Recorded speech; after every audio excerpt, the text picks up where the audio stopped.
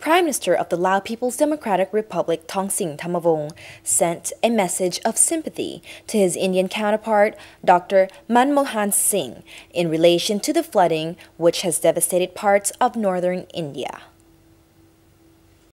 The message reads, I've learned with profound sadness about the recent uninterrupted heavy rains resulting in serious flooding in the northern part of India, which caused tremendous casualties, loss of lives, and damages to people's properties. On behalf of the government and Lao people, and on my own behalf, I would like to express my heartfelt sympathy to Your Excellency and through Your Excellency to the families of the victims of this natural disaster. I am confident that under your leadership and the close attention of the government of India, the country will be able to restore the living conditions of people in the stricken areas to normalcy soon.